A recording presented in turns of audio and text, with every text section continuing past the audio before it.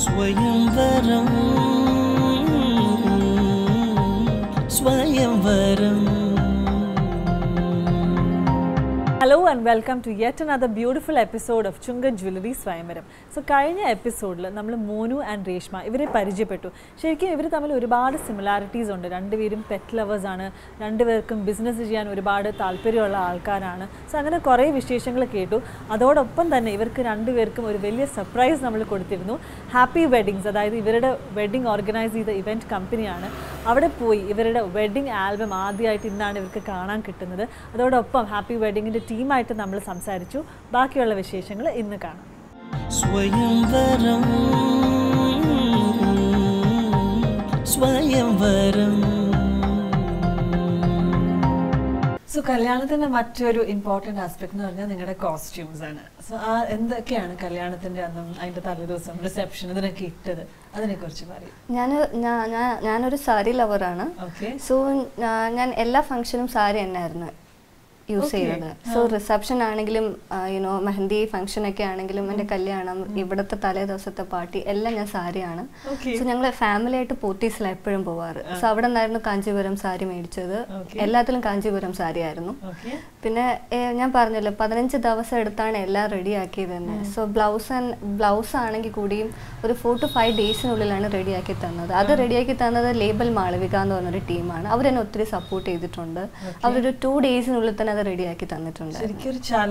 ഒത്തിരി ചലഞ്ച് ആയിരുന്നു actually so actually എന്റെ മാരേജിൽ എനിക്ക് ഒത്തിരി താങ്ക്സ്ഫുൾ പറയാൻ താങ്ക്ഫുൾ പറയാനുള്ള ആൾക്കാരെന്ന് പറഞ്ഞാൽ ഒന്ന് ഹാപ്പി വെഡിങ് ആണ്.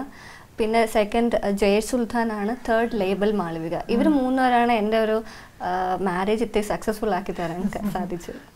സോ ഡിസൈനർ ബ്ലൗസസ് എന്ന് പറഞ്ഞു ഇതുപോലെ അവരുടെ ഇഷ്ടത്തിന് അതുകൊണ്ട്. ഇല്ല അവർ എനിക്ക് ഒരുപാട് കാറ്റലോഗ് കാണിച്ചു തന്നിട്ടുണ്ടായിരുന്നു ഏത് ചൂസ് ചെയ്യണമെന്ന് പറഞ്ഞു. സോ ഞാൻ ഒരെണ്ണം ചൂസ് ചെയ്തു. അതനുസരിച്ചായിരുന്നു അവർ പ്രിപ്പയർ അത് കോസ്റ്റ്യൂം ചെയ്തത്. അത് ട്രയൽ നടത്തിയിരുന്നു. പെർഫെക്റ്റ് ആയിരുന്നു. ഒത്തിരി എനിക്ക് ഒത്തിരി റിവ്യൂ വന്നിരുന്നു അതിന്. അപ്പൊ ഇപ്പൊ ജയേഷ് സുൽത്താൻ മേക്കപ്പ് ആർട്ടിസ്റ്റ് കുറെ റെഫറൻസസ് തന്നു എന്ന് പറഞ്ഞില്ലേ ഇതിന്റെ കളർ നല്ലതായിരിക്കും. ഇതൊക്കെ അനുസരിച്ചാണോ ശരിക്കും ചൂസ് ചെയ്തത്? അത് അവിടെ ചെന്നിട്ട് ആക്ച്വലി അവിടെ ചെന്നപ്പോൾ ഒത്തിരി കൺഫ്യൂസ്ഡ് ആയായിരുന്നു. കാര്യം യുനോ ടെക്സ്റ്റൈൽ നമ്മൾ പോകുമ്പോൾ തന്നെ ആ ലൈറ്റ്നിങ് ആകുമ്പോൾ നമുക്ക് എല്ലാം ബ്യൂട്ടിഫുൾ ആയിട്ട് തോന്നും. സോ അപ്പോഴത്തേക്ക് എനിക്ക് ആക്ച്വലി എല്ലാം കണ്ടപ്പോൾ ഞാൻ കൺഫ്യൂസ്ഡ് ആയിപ്പോയി പിന്നെ ഞാൻ ഞാൻ ചെയ്യില്ല. സ്റ്റിക് ടു ദ പ്രോസസ് അതിൽ തന്നെ നോക്കി. പുള്ളിക്കാരൻ തന്ന കളർ മെറൂൺ തന്നിട്ടുണ്ടായിരുന്നു. ഗോൾഡൻ തന്നിട്ടുണ്ടായിരുന്നു. ഒരു റെഡ് കളർ തന്നിട്ടുണ്ടായിരുന്നു. സോ പിന്നെ ഞാൻ റെഡും മെറൂണും ആസ് യൂഷ്വൽ എല്ലാവരും ചൂസ് ചെയ്യുന്നുള്ളതുകൊണ്ട് പിന്നെ ഞാൻ ഗോൾഡൻ കളറാണ് ചൂസ് ചെയ്തത്. ഞാൻ ആക്ച്വലി കല്യാണ ദിവസം മുണ്ടും ഷർട്ടുമായിരുന്നു വരുന്നു റിസപ്ഷന് ഫോമൽസ് പാന്റും ഷർട്ടുമായിരുന്നു വരുന്നു ഞാൻ ആക്ച്വലി ഒരു മുണ്ടും ഷർട്ടും ലവറാണ് അപ്പം അപ്പം ഞാൻ ആ ദിവസം ഷർട്ട് നോർമലി ഞാൻ തയ്പ്പിക്കാറുള്ളൂ അപ്പം കല്യാണത്തിന്റെ കോസ്റ്റ്യൂംസും റിസപ്ഷന്റെ കോസ്റ്റ്യൂംസും എല്ലാം പർച്ചേസ് ചെയ്ത പോത്തീസ് നിന്നായിരുന്നു ആക്ച്വലി ടൊമാറ്റോ ഞാൻ എനിക്ക് എനിക്ക് വല്ല കളർ ചോയ്സ് ഇല്ല. ഞാൻ എനിക്ക് ഒരു വൈറ്റ് ഷർട്ടും ഒരു ഡാർക്ക് പാൻസും ആണ്. അല്ലെങ്കിൽ വൈറ്റ് ഷർട്ടും നിങ്ങൾ തമ്മിൽ ഈ ഒരു കാര്യത്തിലും ഒരു സിമിലാരിറ്റി ഉണ്ട്. യൂഷ്വലി ഞാൻ ഇപ്പോഴത്തെ കാലത്തെ കുട്ടികൾ ഈ മുണ്ടും ഷർട്ടും ഇഷ്ടമാണെന്ന് പറയുന്നത് അല്ലെങ്കിൽ സാരി ലവർ എന്നൊക്കെ പറയുന്നത് വളരെ റെയർ ആണ്. അല്ല ഇപ്പത്തെ കംഫർട്ടബിൾ കോസ്റ്റ്യൂം എന്ന് പറഞ്ഞാൽ എല്ലാവരും സൽവാർ കമീസ് അല്ലെങ്കിൽ ഇപ്പൊ ഒരു വെഡിങ് ആകുമ്പോൾ ലഹങ്ക ഒക്കെ പോകും എപ്പൊ പണ്ടേ തുടങ്ങി ഇഷ്ടമാണ് സാരി? അതെ എനിക്ക് ശോഭൻ ശോഭന ആക്ടേഴ്സ് ഭയങ്കര ഇഷ്ടമായിരുന്നു. അവർ സാരി ഉടുക്കുമ്പോൾ ഞാൻ ഒത്തിരി അഡ്മയർ ചെയ്ത് നോക്കിയിട്ടുണ്ട്. സോ അന്നോട്ടെ എനിക്ക് സാരിയിലോട്ട് വല്ലാത്തൊരു അഡിക്ഷൻ തോന്നാറുണ്ട്. സോ എനിക്ക് എന്റെ ഒത്തിരി സാരി കളക്ഷൻ ഉണ്ട്. ഞാൻ ഏതൊരു ഫംഗ്ഷൻ ആണെങ്കിലും ഞാൻ ഫസ്റ്റ് ചൂസ് ചെയ്യുന്ന സാരി ആയിരിക്കും. സോ വെഡിങ്ങിന്റെ അന്ന് ആ ഒരു ദിവസം ഒന്ന് റിക്കോൾ ചെയ്യാമോ എങ്ങനെയായിരുന്നു? എന്തൊക്കെ ചെയ്തു അന്ന് രാവിലെ എഴുന്നേറ്റിട്ട്? ഒരു പക്ഷെ രേഷ്മയ്ക്കായിരിക്കും. ആസ് എ ബ്രൈഡ് നമുക്ക് കൂടുതൽ പ്രിപ്പറേഷൻസും ഒരുങ്ങലും കാര്യങ്ങളും ഒക്കെ ഉണ്ടല്ലോ. സോ അതിനെ കുറിച്ചൊക്കെ പറയൂ. ഒരു ഡേ എങ്ങനെയാണ് തുടങ്ങിയത്? ഡേ ആക്ച്വലി സ്റ്റാർട്ട് ചെയ്തതിന് ഒരു ഫൈവ് തേർട്ടിക്കാണ്.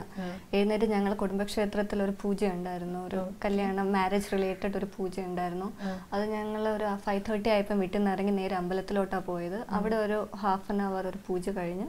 പിന്നെ അവിടുന്ന് നേരെ പിന്നെ നമ്മൾക്ക് മണ്ഡപത്തിലോട്ടാണ് പോയത് അവിടെ തന്നെ ആയിരുന്നു ഉള്ള ഒരുക്കങ്ങളെല്ലാം. എന്നെ പിന്നെ ആരാണ് മേക്കപ്പ് ഒക്കെ ചെയ്തത്? മേക്കപ്പ് ചെയ്ത ഒരു സെലിബ്രിറ്റി മേക്കപ്പ് ആർട്ടിസ്റ്റ് ആണ് ജയ സുൽത്താൻ എന്ന് പറയും. അദ്ദേഹമാണ് മേക്കപ്പ് ചെയ്തത്. അദ്ദേഹം എന്നെ ഒത്തിരി സപ്പോർട്ടീവ് ആയിട്ടൊരു മനുഷ്യനായിരുന്നു. ബിക്കോസ് എനിക്ക് അദ്ദേഹം ഒരുപാട് ട്രയലിന് വിളിച്ചിട്ടുണ്ടായിരുന്നു. എനിക്ക് പോകാൻ പറ്റിയിട്ടില്ല. പിന്നെ അദ്ദേഹം എന്റെ അടുത്ത് ഫോട്ടോ അറ്റ്ലീസ്റ്റ് എങ്കിലും അയച്ചു തരാൻ പറഞ്ഞിട്ടുണ്ട്. പിന്നെ ഞാൻ ഫോട്ടോ അയച്ചു കൊടുത്തു. അദ്ദേഹം തന്നെ സാരിയുടെ സെലക്ഷൻ ഏത് കളർ സാരി എടുക്കണമെന്നൊക്കെ എന്നെ ഒരുപാട് ചൂസ് ചെയ്യാൻ ഒരുപാട് ഓപ്ഷൻസ് തന്നിട്ടുണ്ടായിരുന്നു. എനിക്ക് രണ്ട് മൂന്ന് കളർ പാറ്റേൺ ഒക്കെ അയച്ചു തന്നെ. ഇതിൽ ഏതെങ്കിലും ഒരു സാരി എടുക്കണമെന്നൊക്കെ അങ്ങനെ സപ്പോർട്ട് തന്നിട്ടുണ്ടായിരുന്നു പിന്നെ നല്ല രീതിയിൽ ഉറങ്ങണമെന്നൊക്കെ എന്നെ അഡ്വൈസ് ചെയ്തിട്ടുണ്ടായിരുന്നു. പിന്നെ രാവിലെ വന്നപ്പോൾ തന്നെ അദ്ദേഹം എന്നെ അദ്ദേഹം മണ്ഡപത്തിൽ തന്നെ ഉണ്ട്. അദ്ദേഹം അദ്ദേഹത്തിന്റെ അസിസ്റ്റന്റും കൂടി മണ്ഡപത്തിൽ എന്നെ വെൽക്കം ചെയ്യാനുണ്ടായിരുന്നു. അത് ഞങ്ങൾ തമ്മിൽ കുറച്ച് സംസാരിച്ചു. എന്നെ ഒരു കംഫർട്ട് ലെവൽ ആക്കിയതിന് ശേഷമാണ് നമ്മൾ തുടങ്ങിയത്. ഏകദേശം ഒരു ഒന്നൊന്നര മണിക്കൂറത്തെ ഒരു മേക്കപ്പ് ഒക്കെ ഉണ്ടായിരുന്നു. ഒത്തിരി ഇമ്പോർട്ടന്റ് ആക്ച്വലി അദ്ദേഹം എന്ന് പറഞ്ഞാൽ എന്നെ ഒരുപാട് വട്ടം കോൾ ആ മാരേജ് അടുക്ക അടുക്ക എന്നെ ഒരുപാട് വട്ടം അദ്ദേഹം വിളിച്ചിട്ടുണ്ടായിരുന്നു.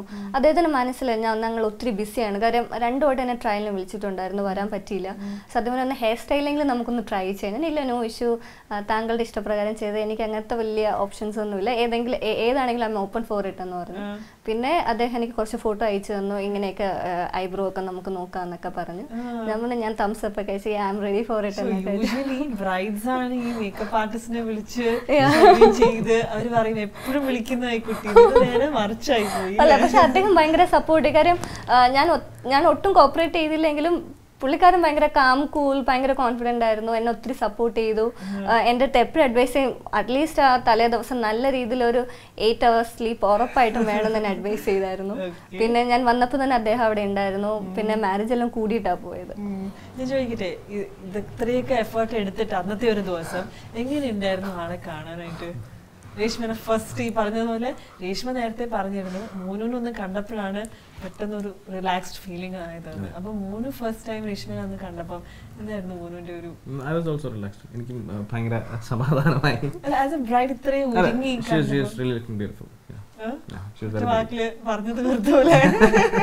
അല്ലല്ല പുള്ളിക്കാരി ഈ ഭയങ്കര ബ്യൂട്ടി കോൺഷ്യസ് അല്ല. പക്ഷെ ആ deal I was not expecting her to be so beautiful but anyways ആ രംഗം ഞാൻ ഇപ്പോഴും എന്റെ മനസ്സിൽ ഓർക്കുന്നു. ഓർക്കുന്നു.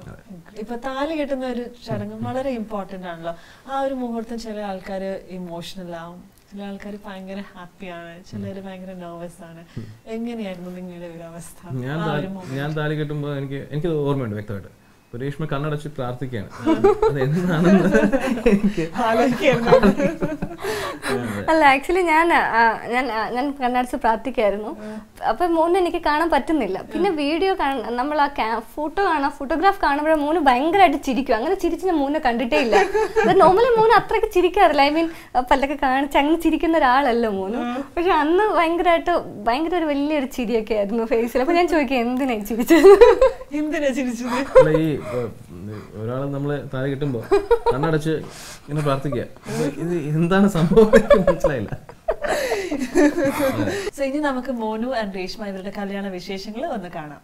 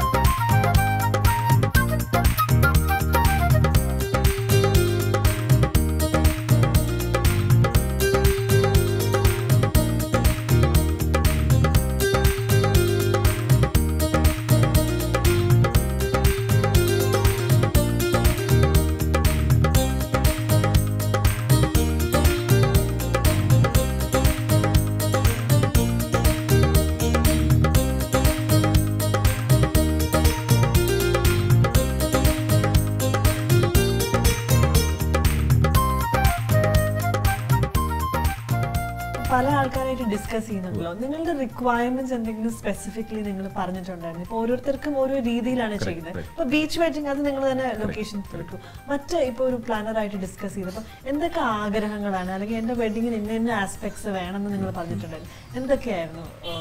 നിങ്ങൾക്കായിട്ട് സ്പെഷ്യൽ ആയിട്ട് അല്ലെങ്കിൽ ഡിഫറെന്റ് ആയിട്ട് ചെയ്യാൻ നോക്കിയത്? നമ്മൾ പലരെയും കണ്ടപ്പോഴും ഞങ്ങൾ ഫസ്റ്റ് നോക്കിയത് വെദർ അവർക്ക് ഇത് സ്വന്തമായിട്ട് ഒന്ന് ക്രിയേറ്റീവായിട്ട് പ്ലാൻ ചെയ്ത് നടത്താൻ പറ്റുമോ എന്നാണ് ഞങ്ങൾ ഫസ്റ്റ് ക്രൈറ്റീരിയ നോക്കിയത്. രണ്ടാമത്തെ കേസ് പിന്നെ നമ്മുടെ വെന്യൂൽ നമ്മുടെ ആ കല്യാണ മണ്ഡപത്തിന്റെ ആ സദസ്സ് ഒരു ഒരു ക്ലാസിക് രീതിയിൽ ഉള്ള അറേഞ്ച്മെന്റ്സ് വേണമായിരുന്നു. പിന്നെ നമുക്ക് ഗസ്റ്റും ഫാമിലിയും വരുമ്പോൾ അവർക്ക് അവരുടെ കംഫർട്ട് ലെവൽ അവരുടെ വെൽക്കമിങ് അവർക്ക് വരുന്നവർക്ക് എവിടെ ഇരിക്കണം എന്നൊക്കെ ഒരു അറേഞ്ച്മെന്റ്സ് കൊടുക്കുന്ന ആൾക്കാർ അപ്പം ആ ആ ഡേ പ്രോപ്പറായിട്ട് ഞങ്ങൾ കൂടെ നിന്ന് ഞങ്ങളെ സപ്പോർട്ട് ചെയ്യാൻ പറ്റുന്നതാണ് ഞങ്ങളുടെ റിക്വയർമെന്റ് പറഞ്ഞത്. അപ്പോൾ അത് ഞങ്ങൾക്ക് ഏറ്റവും കൂടുതൽ തോന്നി ഈ വെഡിങ് പ്ലാനറാണ് ഹാപ്പി വെഡിങ്സ് സോ കല്യാണം കഴിഞ്ഞിട്ട് നിങ്ങൾക്ക് ഒരു ഫൈനൽ റിസപ്ഷൻ ഉണ്ടായിരുന്നു. അതിന്റെ വിശേഷങ്ങൾ പറയുന്നു അത് ഇവിടെ വെച്ചായിരുന്നു. എന്റെ വീട്ടിൽ വെച്ചിട്ടായിരുന്നു. അപ്പം കല്യാണത്തിന് വരാൻ പറ്റാത്ത ബന്ധുക്കൾ അല്ലെങ്കിൽ വരാൻ പറ്റാത്ത ആൾക്കാരെ അക്കോമഡേറ്റ് ചെയ്യാനായിരുന്നു. കാരണം പക്ഷെ കല്യാണം ഞങ്ങളുടെ വീട്ടിൽ നിന്ന് കുറച്ച് കോവളത്തായിരുന്നതുകൊണ്ട് മേ ബി വരാൻ പറ്റാത്ത ആൾക്കാർ ഉണ്ടാവാം അപ്പം അവരെയും കൂടെ അക്കോമഡേറ്റ് ചെയ്യാൻ വേണ്ടിയിട്ടായിരുന്നു റിസപ്ഷൻ പിന്നെ ഒരു ഗ്രാൻഡ് ഫംഗ്ഷൻ ആയിരുന്നില്ല. സിമ്പിൾ ഫുഡൊക്കെ ഞങ്ങൾ തന്നെ കുക്ക് ചെയ്തത് ഓക്കെ അപ്പം ആ, ഞങ്ങൾ ഞങ്ങളെ ഞങ്ങളെ ഞങ്ങളെ ഞങ്ങളുടെ ഷെഫ്സ് തന്നെ കുക്ക് ചെയ്തത് സോ തനി നാടനല്ല ആക്ച്വലി മട്ടൺ കുർമ അങ്ങനത്തെ ഡിഷസ് ഒക്കെ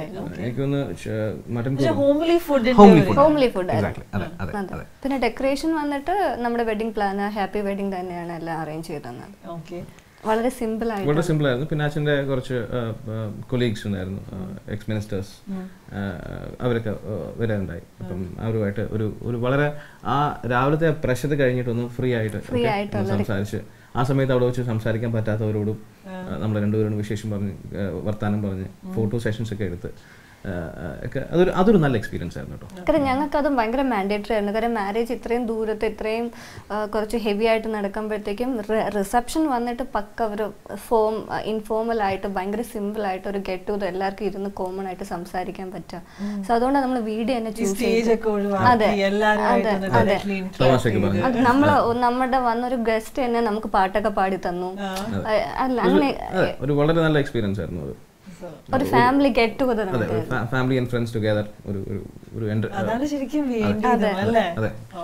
സോ നിങ്ങളോട് സംസാരിച്ചപ്പോൾ എനിക്ക് മനസ്സിലാക്കിയത് രണ്ടുപേരും ഈ പറഞ്ഞ ഭയങ്കര അംബിഷ്യസ് ആണ്. പ്ലാൻ ചെയ്യുന്ന ആൾക്കാരാണ്. അത് യൂഷ്വലി ഒരാൾക്ക് ഇച്ചിരി അളവ് കൂടുതലാണെങ്കിൽ മറ്റേ ആൾക്ക് എപ്പോഴും കുറവായിരിക്കും. അതുകൊണ്ട് തന്നെ പ്രശ്നങ്ങൾ വരാൻ സാധിക്കാറുണ്ട്.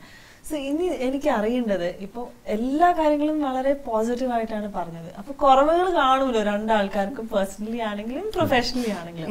സോ ഇനി നിങ്ങളുടെ ടാസ്ക് എന്ന് പറയുന്നത് ഈ കുറവുകൾ എന്താന്ന് പറയാന്നുള്ളതാണ് പക്ഷെ നിങ്ങൾ കുറവുകളായിട്ടല്ല അത് പറയേണ്ടത്. എന്താണോ കുറവ് അതിന്റെ ഓപ്പോസിറ്റ് നിങ്ങൾ കുറച്ച് നല്ല രീതിയിൽ പുകഴ്ത്തി പറയണം മറ്റേ ആളെ കുറിച്ച് അവരുടെ കുറവുകൾ മനസ്സിലായോ രേഷ്മ രേഷ്മയ്ക്ക് ദേഷ്യം വരാറേയില്ല.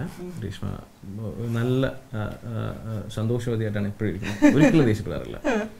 പിന്നെ രേഷ്മയുടെ ഡ്രൈവിംഗ് എക്സലന്റ് ആണ്. ട്രാഫിക് റൂൾസ് പാലിച്ച് ബ്രേക്കും ക്ലച്ചും ഏതാന്ന് കറക്റ്റായിട്ട് അറിയാം. അപ്പോൾ ആക്സിലേറ്ററും നല്ലപോലെ അറിയാം. ഡ്രൈവിംഗ് എക്സലന്റ് ആണ്. ഫസ്റ്റ് ഗിയർ കഴിഞ്ഞാൽ ഫോർത്ത് ഗിയർ അല്ല ഇടുന്നത്. അതാണ് രണ്ട് ബെസ്റ്റ് ക്വാളിറ്റീസ് മതി മതി മതി. ഞാൻ അധികം പറയിപ്പിക്കുന്നില്ല. അപ്പൊ എന്തൊക്കെ കാര്യങ്ങൾ ഇമ്പ്രൂവ് ചെയ്യേണ്ടതെന്ന് മനസ്സിലായല്ലോ. ഇനി മോനുവിനെ കുറിച്ച് കേൾക്കാം. മൂന്ന് ഭയങ്കര പഞ്ച്വൽ ആണ്. ഏ. എവിടെയെങ്കിലും ടെൻ ഓ ക്ലോക്കിന് വരണമെന്ന് പറഞ്ഞാൽ എയ്റ്റ് തേർട്ടിക്ക് ചെന്ന് നിൽക്കും. അതാണെങ്കിൽ എന്നെ എന്തെങ്കിലും വൈൻഡ് അപ്പ് ചെയ്യേണ്ടത് അഞ്ചു മണിക്കാണെങ്കിൽ ഒരു ത്രീ തേർട്ടിക്ക് തന്നെ വൈൻഡ് അപ്പ് ചെയ്യും. യുനോ സോ ഭയങ്കര പഞ്ച്വൽ ആണ് മോനും. ഓക്കെ. പിന്നെ സെക്കൻഡ് തിങ് എന്ന് പറഞ്ഞാൽ ഒട്ടും പെർഫെക്ഷൻ അല്ല. ഷർട്ട് ചുളുക്കാം കുഴപ്പമില്ല.